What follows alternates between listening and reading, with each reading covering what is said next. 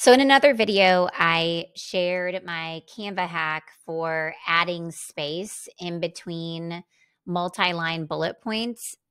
And that hack works for multi line bullet points.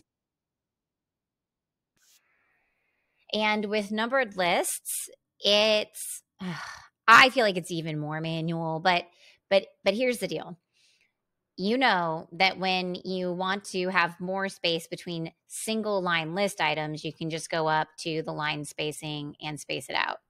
But then when I look at this numbered list, I've got like this weird empty space with line three because line three has two lines. So, how do I adjust this?